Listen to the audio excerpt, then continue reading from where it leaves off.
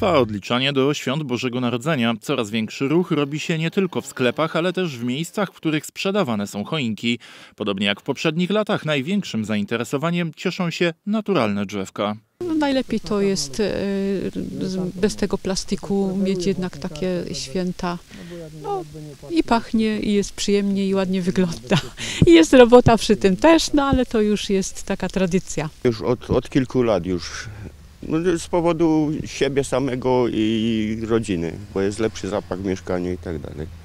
Pan się dzisiaj rozgląda, jak duża choinka? No tak do dwóch metrów.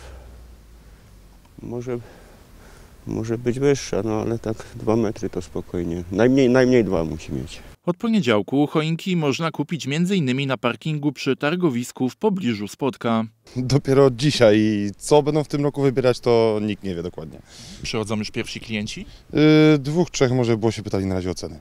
Właśnie, jak te ceny się zmieniły na przestrzeni ostatnich miesięcy? No bo wiemy, że inflacja szaleje. Yy, delikatnie poszło w górę. No wiadomo, wszystko teraz kosztuje. Paliwo poszło w górę, no to, to wartość idzie w górę.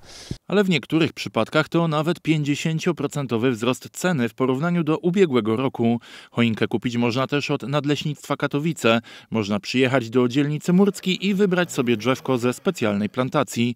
Choinkę będzie można dostać też niemal za darmo. Lasy Państwowe włączyły się w akcję Choinka za życie, dla życia.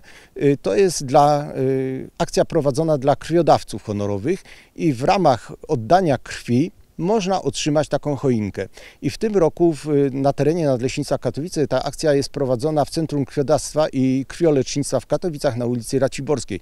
Będzie to prowadzone w dniu 14 grudnia, czyli już za dwa dni. Ceny choinek w Nadleśnictwie Katowice zależne są od wysokości drzewka. Przykładowo za 2,5 metrowe drzewko trzeba zapłacić około 40 zł.